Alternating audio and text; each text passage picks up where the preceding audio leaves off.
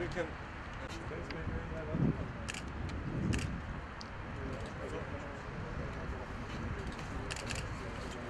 bizi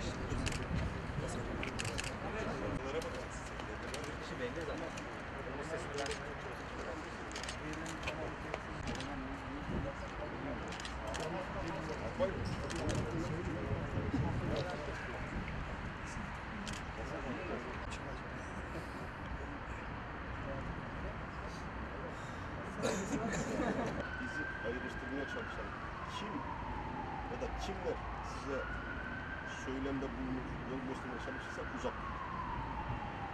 Bizi kardeşliğe, dostluğa, samimiyete, birbirimizi daha çok sevmeye Ne kadar süredir askerdesin?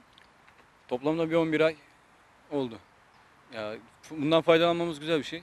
Daha önceden hani tam anlamıyla bitmişti zaten bizim ama yine de bizim de bir günde erken çıkışımız bize bir faydası oluyor. Güzel yani hisleri bu. Sürpriz hissederler? Şaşıracaklarına, sevineceklerine eminim. Ya bir hüzün de var, mutluluk da var.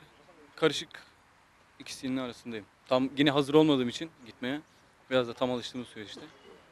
Yine de duygularım böyle ya karışık. Hem sevinç var, hüzün var. Arkadaşlarımdan ayrılıyorum. Beş gün önceden ters aldın. Ne hissediyorsun? Neler söyleyeceksin? Mutluyuz. Vatani görevimizi hakkıyla, helaliyle yerine getirdiğimizi düşünüyorum. Arkadaşlarımla birlikte, bütün as- asker arkadaşlarımızla birlikte güzel bir şekilde vatani görevimizi yerine getirdik.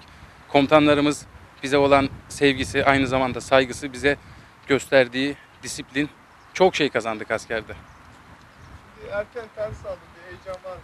Beş gün de olsa erkenden çıktın. Yani tabii öncesinden askerlik yasası sisteme girdiğinde bütün asker arkadaşlarım gibi ben de heyecanlanmıştım ne kadar 5 günümüz kalsa bile.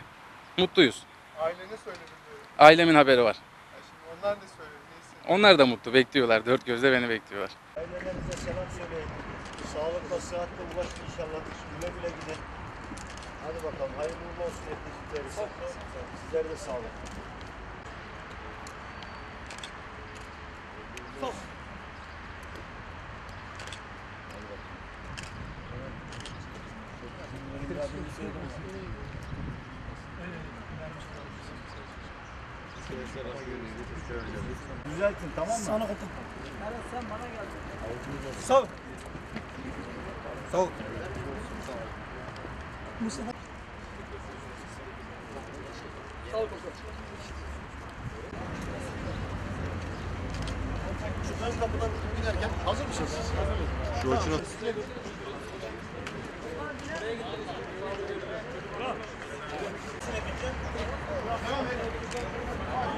いい